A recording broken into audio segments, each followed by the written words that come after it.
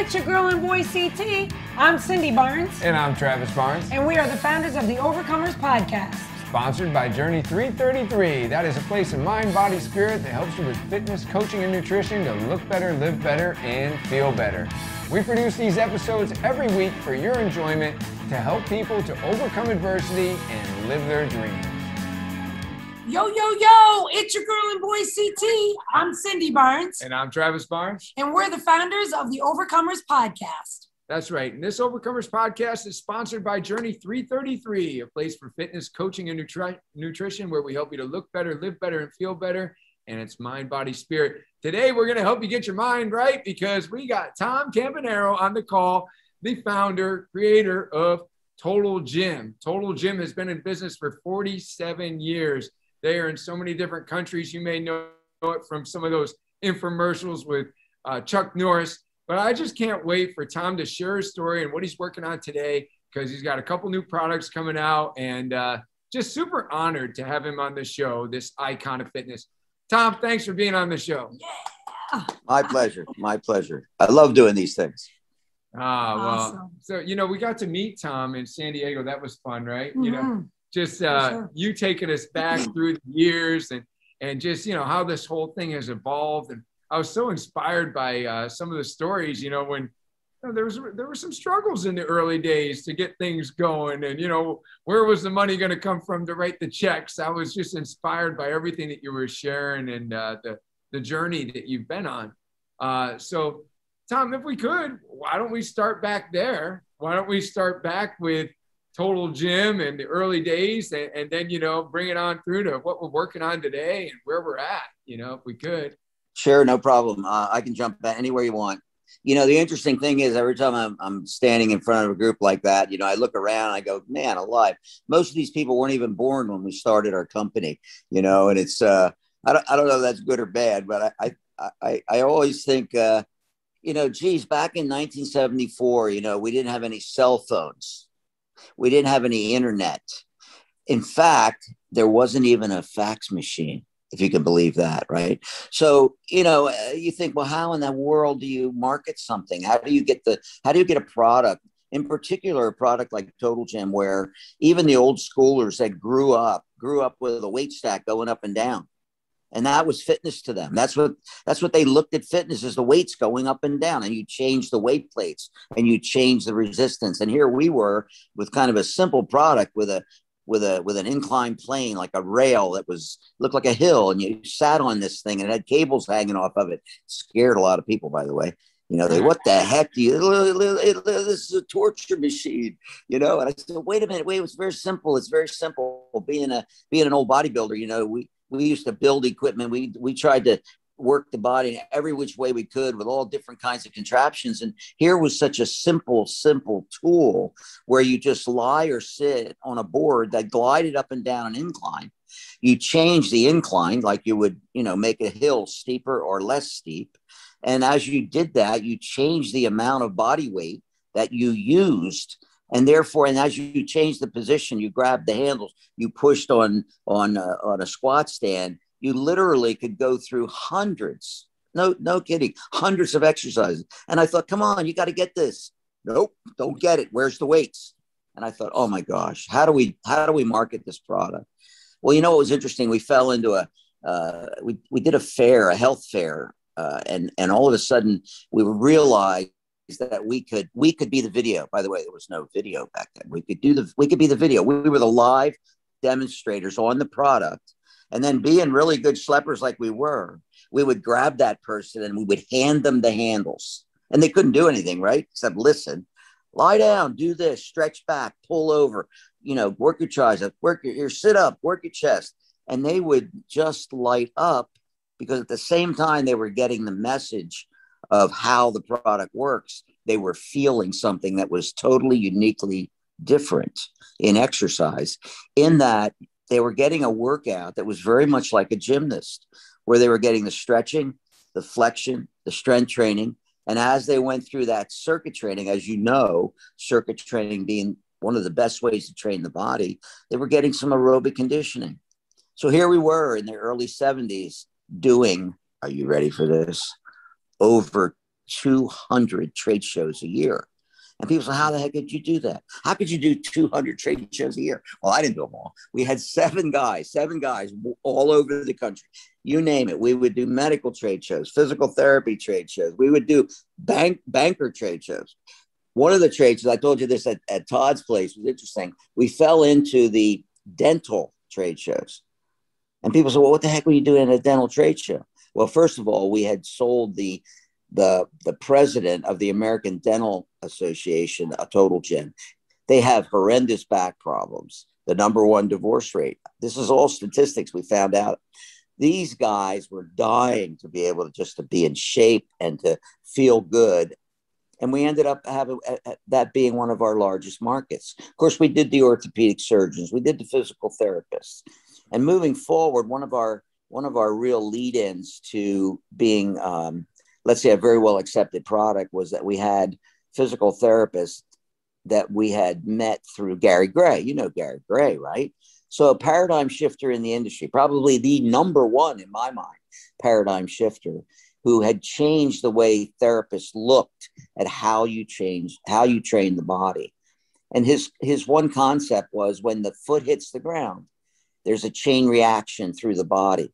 So if you're if you're dealing with a hip or a back, you know, look at the gait, look at what's going on when that person walks or what they do. And what we found out was that therapists saw our product from a very simplified uh, physiology, meaning you could lie down on your back, you could have your feet on a squat stand. It was called closed chain exercise, where you close the chain. And you could alter the resistance, right? Remember the incline. So by altering the resistance, they were able to train a, a, a person by unloading their body weight. They had the calibration because gravity controls the resistance of our product, right? You're always working against gravity, percentage of your body weight against gravity. So, for example, if you're on level three on the total gym and you weigh 200 pounds, and you're on level three on the total gym and you weigh 100 pounds, it's exactly the same percentage of the relative body weight which means that the therapist could start the person at a low level. And as they move them up the incline, they would be loading their body more. So they knew exactly where they were in the rehab process. So over the next many years, we ha- we were now we're now up to over fifteen thousand physical therapy locations around the country, and I'll give you why that's so important today and and stop me from rambling. I'm gonna I'll just keep going until you stop me. You know, there is a few things that you're saying right now that I think are so relevant, even though they were back then, they're very relevant to today. Like, first of all, meeting with resistance. You know, everybody's saying, Oh, what's this? You know, it's different than what we're doing, you know, like Jack LaLanne, I, I think of you and in those terms too. You know, I mean, he was asking people to come work out when doctors were saying, Oh, don't lift weights, it'll make you dumb, it'll make athletes. Yeah, there you go you know, and so you had this product. And then what I really like about it is that, you know, we're marketing at a time, uh, many people have said that our marketing is kind of taken a step back, you know, because of just where we're at and after this pandemic. Um, it's like some of the things used to be kind of inefficient, like email marketing, are coming on stronger, and some of the things that used to work really well, like Facebook ads, are not as strong as they used to be. These are some schools of thought. But what you did is you just said, how do I get this in front of people? And who are my customers? Anywhere from dentists, uh, physical therapists, orthopedic surgeons, and get into their conferences. Because I would, I would have never just pictured a total gym at a dental conference like that. That to me is like you know, and 200 trade shows. You're like PT Barnum, you know, like let's just load up and fucking go. Because even if you had seven guys, that's still 30 that's 30 between each of you if you just divide it evenly, right? You know, 30 of you or 30 trade shows per person, you know. So I just think that there's a lot there um, that people can already start to learn from about overcoming. Like, how much is your dream worth to you? Are you willing to go to 200 trade shows? Do you know who you want to get this in front of? And can you let them experience what it is you have to offer? Because that was what you did. You got, you said, when I put it in their hands, they lit up. You know, I, I think that that is really cool too. Um, so when you met with the resistance, you got people to experience what you were doing. I think that that's really good. Um, you got in front of the right people, the people that maybe you learned along the way who your customers were, because you know you kind of discover this this physical therapy customer, and then it turns into fifteen thousand. I mean, there's some lessons there for people. Um, as far as overcoming resistance and going from having an idea, having a product, to getting it to where it is today, um, what do you think are some of the biggest lessons learned in, in that process? You know, the biggest thing. You know, the first uh, the first lesson is uh, you if you don't have the passion for what you're doing, you're not going to have the persistence to get through the amount of time that it takes to actually refine what you have and to take it to the next level. You know, it's like we were talking at Todd's. I mean, Todd is the uh, exemplification, if that's the right word, of passion, you know, and he loves what he's doing. You see that, you feel that. And of course, it carries you through because no matter what you're in, no matter what you're in, if you don't have passion for that, for your product or your business or whatever, when you run into an issue, you're not going to, you're not going to survive because passion is what carries you through those, those tough times, you know, and, and persistence. I think, you know, if if somebody would have told me in 19 let's just say we started in 74 if they would have told me in 1978 you know what tom this is going to be a, a 20 year hoe before people really get it. I don't know what i would have done. I i i think i would have done what, what i did was which was just stay passionately involved in the product shown it to as many people as we could. And here's what happened. The, the, reason the physical therapy field came into existence for us was because it was a paradigm shift. There was a paradigm shift away from isokinetic open chain to closed chain functional exercise.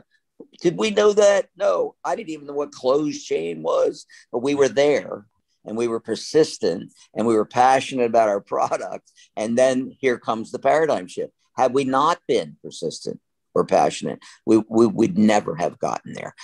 Example Chuck Norris, for example. Now, Chuck, everybody knows Chuck Norris, right? He's the one that uh, He's the one that when he does push-ups, the earth moves. Remember that guy? So, uh, so Chuck, we met in 1978 before he was a movie star, and you know, we were not like starstruck people. We always we looked at people, and if if people were real and genuine, great, you develop a relationship. If they were, you know, egotistical or way out there, forget it. It's not worth it. Chuck was the nicest guy. We exposed the product to him he fell in love with it. I mean, literally, as a martial artist, fell in love with the Total Gym. So for 22 years, ready for this one? 22 years, every two years, we would send a Total Gym to some far away, God-forsaken jungle where he was filming these MIA movies so he could work out on the product.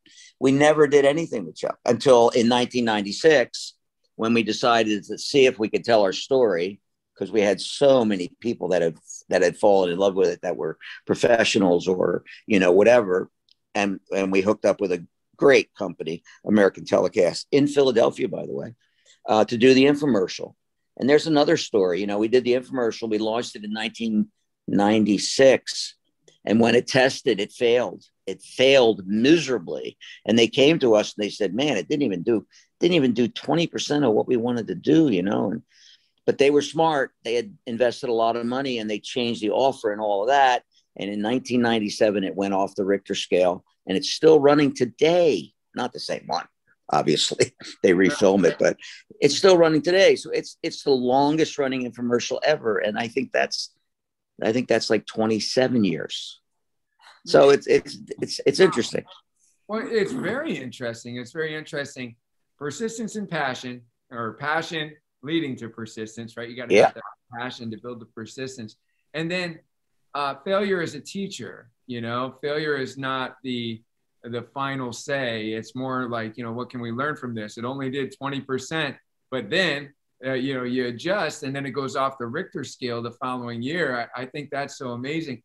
When we were in San Diego at Todd's Mastermind, and we are fortunate enough to meet you, um, you were talking about some of the early days of. Um, I, I, we were talking about this because Cindy's the CFO, right? You know, Cindy's always like, "How are you?" yeah, yeah, yeah. You know, she'll say, "How are you going to do that, Mr. Rockefeller?" And you were saying in there about. Right. Uh, uh, go ahead, Cindy. You remember? Well, I, I know your your wife is your CFO as well. Is that right? No, no. Uh, Joy is our marketing mastermind. Okay. I, I, I fulfilled C, CFO and president. so I, I remember you saying at the at the mastermind meeting that um that you said we're gonna write that check and we're gonna just go with it because I, something about hey, God will, God owns this company, right? right, you know, right. How did it go? Yeah, you're talking about the early so, days. So um, we've always had a very a very strong faith, and if you know, I think people of faith, if they look back over their life, they're shocked at how much intertwining in their life God has influence. So I've always believed that everything we're everything we have is we've been blessed with from God. So therefore, our business was really His business. It wasn't it wasn't our business. We were stewards of it. So with that in mind, you know, as you go through businesses, you you invariably will run into cash flow issues. And as I sure. told you before, I had a we had a meeting one day with our employees, and they they they said, Tom, we have a question. You know, we, we noticed that we get paid on Mondays, and we, our, all of our friends get paid on Friday. I said, well, look at look at here's the here's the deal. We don't have any money on Friday. We do the trade shows on the weekend. Monday we charge the charge card, so Monday you get paid. Okay, but uh, many a time we would be we'd be going along, and I would I would you know sit down. I'd write all our checks that we had to pay, accounts payable, and I would give them to our you know our CFO. I say, you know, I need these checks written, and I want you to mail them on these days, you know. And one time she just looked at me and she said, Tom, we, we, we don't have that much money in the account to cover these checks. And I said, Well, here's the deal. Here's the deal. You know our faith. You know God owns this company, and He has a much bigger checkbook than we have. So mail the checks and mail the checks. And and I've never, I've never, ever, ever in fish again. How many years? 47 years.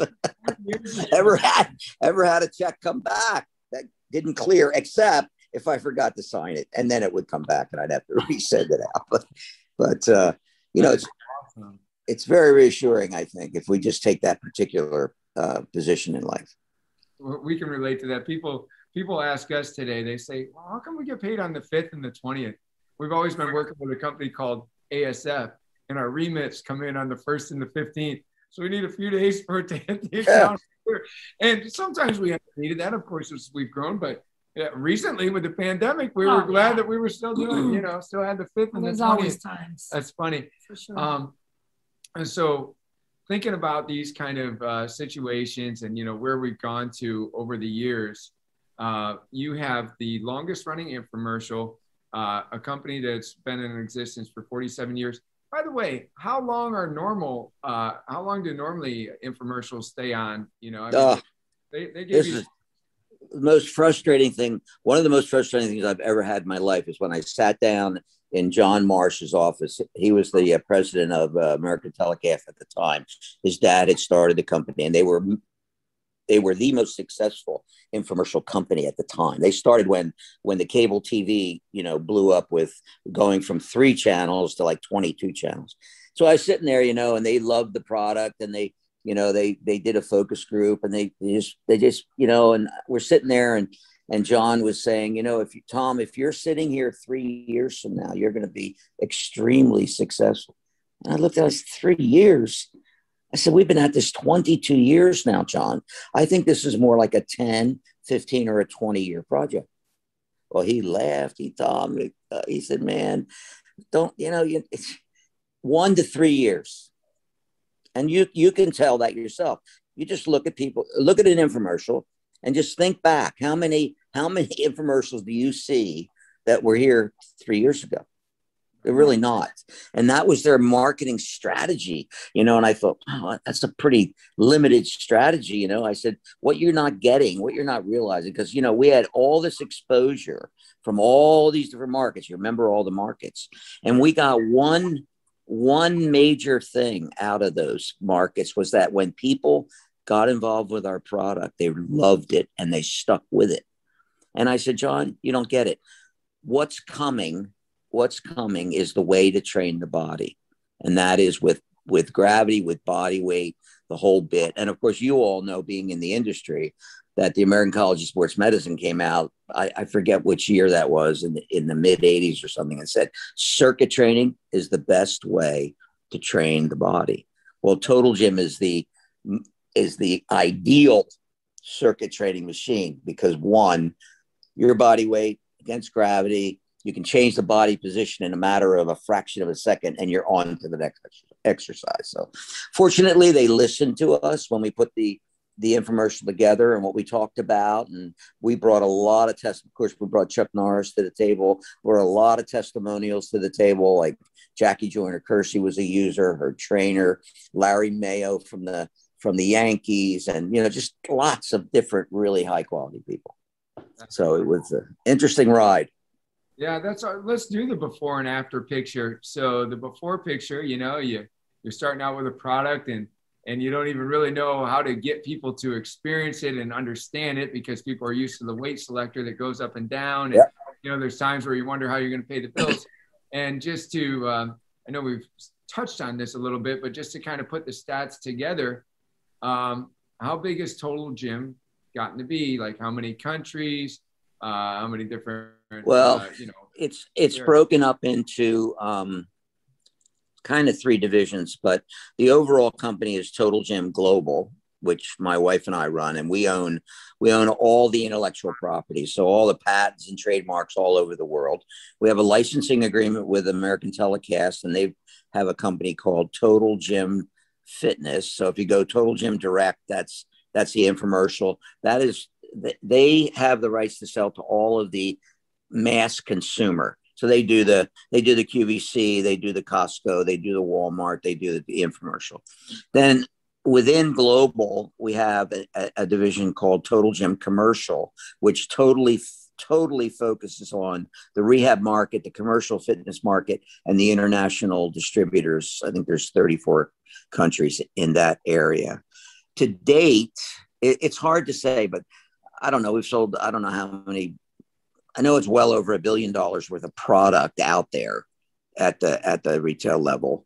Um, I, I don't want to. It's a private company, so I don't want to like tell you how big we are. It's really immaterial. We're we're as big as it takes, I guess. I think I think that's just something though already. You know, 34 countries and selling over a billion dollars in product. I mean, just think about the passion that whatever listeners are hearing today, you know, you take your passion and you stay persistent and you it goes from something that people don't even really know they don't get it into 34 countries and over a billion dollars in product sales. I think that that is awesome. That's an amazing story. Mm-hmm. What do you think that uh, what do you think that people should take from that if they're an entrepreneur, if they're somebody with a dream?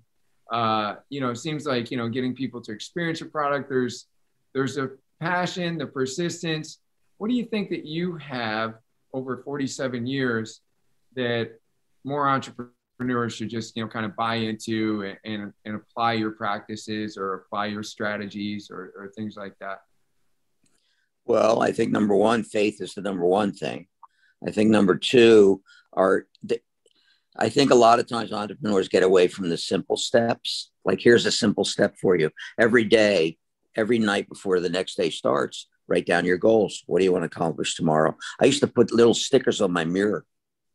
So that when I woke up in the morning, there, it was, boom. Well, now, you know, now you don't need the stickers. You have your cell phone. You have your cell phone.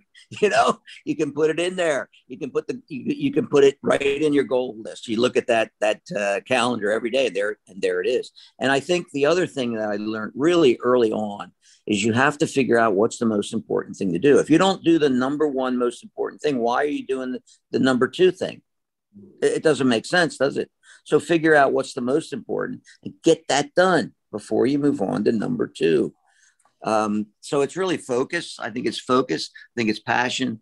It's definitely faith. If you have faith, if you don't have faith, well, you know, you, you deal with it, I guess. But um, uh, yeah, I, I, I think it's it's some of the little simple things. Uh, that's really good. That's really good. Uh, Todd, we've talked about him. He has a practice I try to get all my team involved in. And weekly, we kick off an email thread that says wins, losses, ahas, and goals. And, and I break down my goals into daily goals so that it, no matter what comes at me in a day, I can kind of stay on track and still try to get done what was the important thing. Uh, I think that's yeah. really good. Uh, so, so, let me ask you that sure. with the pandemic, how did that affect Total Gym? I'm sorry, so the what? what? I didn't hear that. The what? With the pandemic and everyone. Ah. Yeah. So I mean, did that like I mean, slow things down, or did did you know regular average Joe start buying some to have at their house? Because I know that fitness equipment was super hard to find. I mean, they were back ordered. Um, yeah. So how did that work for you guys? You mean the COVID bump? That's what they call it, the COVID bump. And I'm thinking, well, you know, we had we had so many really good initiatives going into last year prior to prior to COVID hitting, we had you know a new product line for retail. They had a new uh, new infomercial. We had uh, we were launching a new Elevate line into the health club market. So, well, obviously the first thing that happened, it was almost like uh, 2008. If you remember 2008, things started to go down the hill, and it just went fast, fast, fast, fast, fast. And you had to be very agile, and you had to be willing to change. So last year, what happened was obviously the first thing that hit us was the the fact that these uh, wonderful politicians that we have in the country shut the health club industry down. Do you remember that? Was that horrible? Yeah. It was. It was horrible. It was unbelievable. When you think about it, think about something here. What's the number one thing? Number one, I think that that helps people to avoid um, sickness is immunity. Strengthen their immunity, and the and the number one thing is fitness, health. Look at people. Here's the thing we we found they shut the clubs down, right? They started talking about the people that were getting COVID that had, uh, what do you call it? Um, uh, issues, other issues.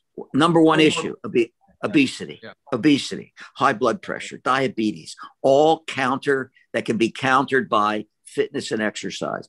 So the first thing was is our, our commercial division pretty much started to shut down worldwide. However, our totalgym.com business and the infomercial business started to explode mm-hmm. because all the you know there's 44 million people in the health clubs that all of a sudden who haven't who have probably the number one thing in their life is their fitness needed to work out at home. So you're right. We had a big big big boom as a lot of companies did that that that had home fitness equipment. Fortunately we had a good supply chain. We didn't have any real issues. I think the most we got out to was maybe a three week delivery time frame. So we were good. We were good. We didn't we didn't we didn't uh, get out. But again, that's strategy that you need to have no matter what you're doing. Flexibility and agility. Yeah. You know, this is called the Overcomers podcast and so I think that that leads me to an important question. You know, I was I like to ask people, you know, how adversities have become their advantage or, you know, what they've learned from adversity. Um, and I would say that in that particular example, uh, adversity that you were facing also showed you that it was good to have diversity, right? Right. I mean, yeah. you, you, you had three different departments and one may have gone down. So, I mean, you know, we could all learn from that to say, do we have different divisions that if this gets hit by some unforeseen circumstance, that these other two might still thrive in that same circumstance? Um, any other adversity lessons that you would share? Like you know what have been your biggest lessons from uh, you know facing challenges or? Well i think early on one of our biggest lessons was you know yeah we did 200 trade shows let's face it. Come on. That was ridiculous. We were we were going to too many places too often. Yeah. we should have zeroed in and we did we zeroed in on the on the rehab market for a while before we went to the consumer consumer market. So the big lesson there was don't don't do too much. Try to try to sit down with somebody that knows how to help you strategize and focus. Focus is an important area. However, like you said, if it wasn't for the fact that we were entrenched in commercial and rehab and in consumer when a when a pandemic like that hit we wouldn't have had the ability. A lot of the companies that were let's say totally commercial focused had a had a tough tough hoe tough hoe the other thing is i think that um, you know adversity is the only place where we grow. So when we when we get hit and i'll give you an example. My son probably has the most diverse uh, relationship with the product. So when he was four years old, five years old, he, he, was in gymnastics. We used to train on the total gym. Can you imagine the strength that a little kid could develop using his body weight against gravity like a gymnast? And then he got into sports, and of course, he got injured. He'd rehab on Total Gym. And I'll never forget one time, high school, playing football. He's, he's playing football, catches the ball on a punt return, gets whacked, and dislocates his elbow. Oh, horrible, horrible injury. It's, I mean, you look at it and you want to puke. Yeah. Excuse, yeah. excuse the French, but it's horrible injury. He's laying on the field there, and he's, oh man. I said, okay, Jesse, what do we do with this? What do we do with it? Oh, he said, he says, we grow from this. We grow from this. The point being, the point being, whenever you run in, into adversity or challenges, if you have an attitude by which you're going to grow from it, look at look at the look at the the value that has, you know, versus not growing from it. So, anyway, so good. You you had instilled something great in his young mind, though, that he could say that. Uh, that's just amazing. Like you know that you're getting hit with something really hard, and you're already looking towards the growth. That is yeah, awesome. Exactly. That's good. So, what are you most excited about today? What's going on now today with Total Gym and everything? Well, well, we're uh, you know we've always been. Um, at least I've always been, but most of us have always been purist from the standpoint of the incline plane. So every product we come out with, uh, I'll just give you a little. Here's a story for you. So you know the health club business whoa, I just lost you guys. We, the health club businesses, they have a hard time getting their arms around our product because in the health club, they have to have single station machine that does one exercise. So a person can do chest, go over here, do butterflies, go over here, do presses, right? They can't get their arms around total gym. So we came out with we, we came early on in uh, when we launched into the health club market, which I, I stayed out of for years because they just didn't get it. So in 19 in, in 2004, we we jumped in with a with a, a campaign called Gravity, Gravity Training, and it was multiple total gyms led by a trainer. We trained them, music, the whole bit. It was beautiful, and and we we did pretty well. In fact, it it's what helped us launch into 22 countries because people outside of the U.S. they got it, they understood this concept. I don't know why, but they did. But anyway, what happened was we we then figured out that okay, you want single station machines. So one of our marketing directors at the time said, "You know what? Let's look at it this way. Let's look at the total gym as a loaf of bread. And let's look at all the exercises as slices." Ah, interesting. So let's pull off some of the most popular slices. So we did. We started an, a, a product line called the Elevate line. If you go to our website, you'll see it. There's a press machine, there's a pull up machine, there's a core machine, which is a phenomenal core machine. There's a jump trainer. And we just launched about a year or two ago. And the only rowing machine that is an eccentric, concentric loaded rowing machine. No pressure on your lower back, variety of exercises you can do. It's phenomenal product. And everybody that gets on it just lights up and goes, wow, this is really cool. So um, that that's our most recent product. And now we're coming out with what's going to be called a hover cycle, which uses the same concept where the, the, the seat is is floating and you're pedaling. And what happens is it generates an eccentric, concentric pedaling motion. So all of these fit into a line um, called the Elevate line, which is just it's phenomenal. You go from one exercise to the next, but it's it's single station stuff, you know. So it's, that's, it's interesting. That's exciting. And, and, where do we go to where do we go to just kind of look at it and totalgym.com. Totalgym.com. That's the commercial site. Totalgymdirect.com is where you'll see uh, Chuck and Christie and the consumer line. So yeah, totalgym.com seems like there's a lesson there too that uh, 47 years in business and you're still evolving right? I mean well my hair my hair i haven't lost my hair so i'm not evolving in, in, a, in a bad direction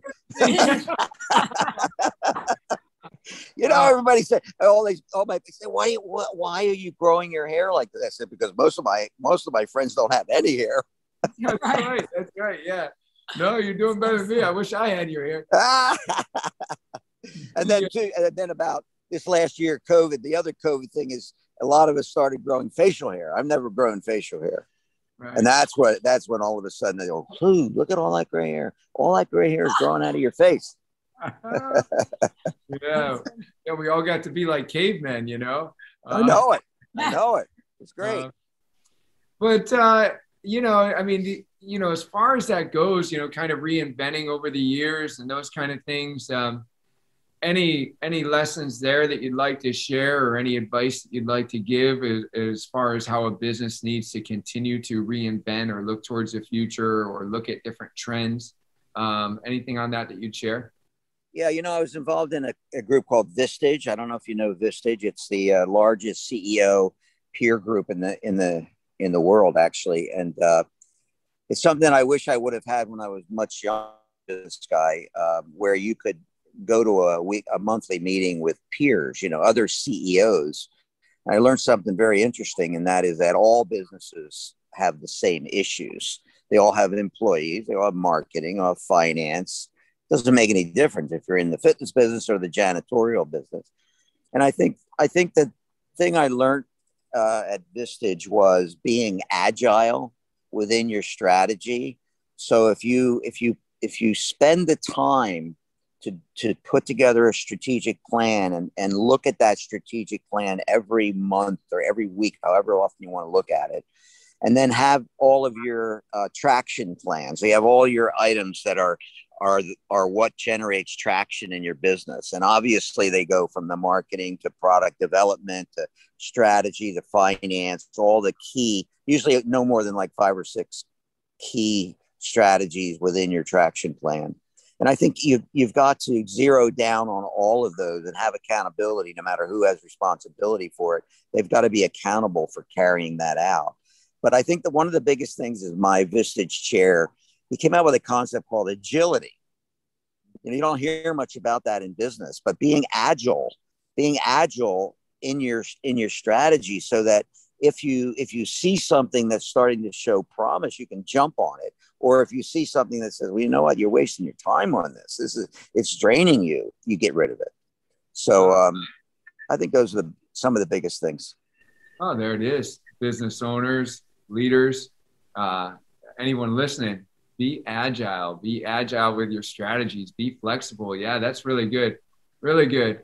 Well any other uh, final words of wisdom that uh, you'd be willing final words of words of wisdom. Oh my goodness. Tom campanaro words of wisdom I, I, I thought i gave you a whole bunch of them you already did. You already did. You've given us so much and we're so grateful for your generosity with your time and all the lessons over the years and just sharing everything that you've shared with us today. So um, you know, Tom, thank you. Thank you very much. My pleasure. Thanks yeah. for inviting me. I appreciate it. And good luck with your thing. And you need anything, let me know. Awesome. Thank All you. right. Thank you. You're awesome. Have a great appreciate day. Appreciate it. All right. Take care. Hey, thanks for tuning in to the Overcomers Podcast, sponsored by Journey 333. When I am not hosting the Overcomers Podcast, I am working at one of our fitness franchises so that I can continue to help people overcome adversity on a daily basis. That's right. People come to the Journey 333 fitness franchises because they want a coach in their life. They want somebody to help them overcome the adversities of life, motivate them to higher levels of greatness, bring out their potential, help them lose weight, get off medications, fight depression, fight anxiety. That's what we do on a regular basis. If you feel like you want your life to be about helping more people to overcome their adversities, if you feel like you're an overcomer and you want to create more overcomers, then maybe owning a Journey 333 franchise would be for you. To find out more, go to www.journeyfitness333.com.